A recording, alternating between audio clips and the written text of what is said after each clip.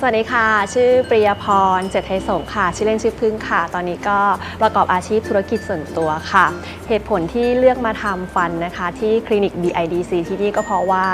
ขับรถผ่านทุกวันแล้วก็เห็นนะคะว่าคลินิกดูใหญ่โต แล้วก็สะอาดสะอ้านนะคะ ดูน่าเชื่อถือก็เลยได้มีโอกาสเข้ามาทำค่ะ แล้วพอได้มีโอกาสเข้ามาทำนะคะ ก็มาทำสิ่งแรกเลยก็คือจัดฟันใสค่ะ Invisalign ค่ะ พอจัดฟันเสร็จนะคะ ก็มีโครงการที่จะทำรากฟันเทียมต่อ